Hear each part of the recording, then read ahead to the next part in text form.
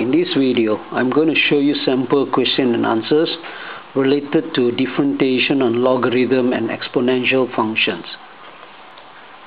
Okay, some of the important things that you need to know in, for this topic.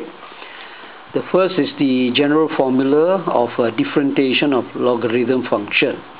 If y is equals to log x, then dy dx, what we do is to invert the x here. So become 1 over x for exponential function if we are given y equals to e to the power x then dy dx we copy back the e to the power of x okay? So let's look at sample question. Part a we are asked to differentiate the function log 3 plus log 7x squared minus e to the power negative x so what we do is to differentiate this function the first one is log 3. Now since there's no x, we can just ignore it. Okay. So for log 7x squared, so what we do is when we differentiate log, we have to invert the 7x squared. So we will write as 1 over 7x squared. Then followed by differentiation of 7x squared.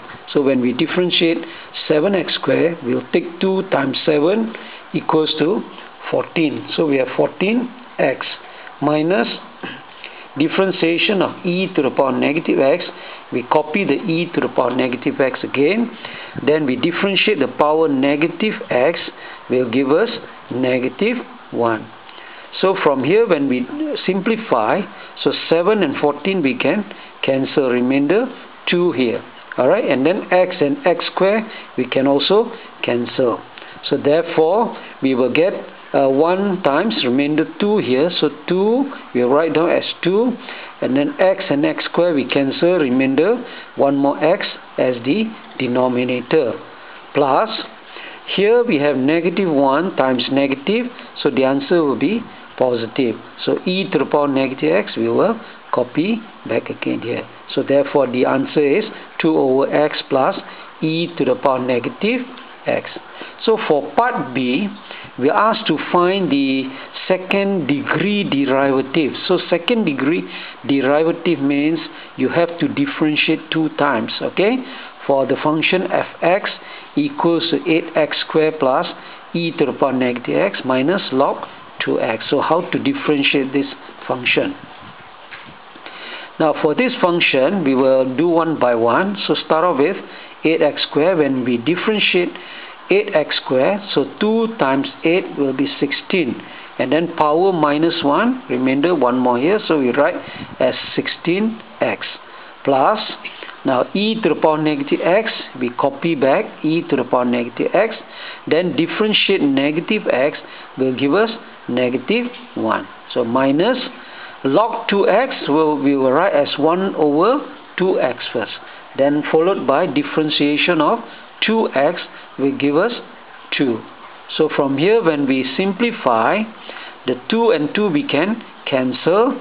So we will get 16x we copy again. Negative 1 times e to the power negative x the answer is negative e negative x.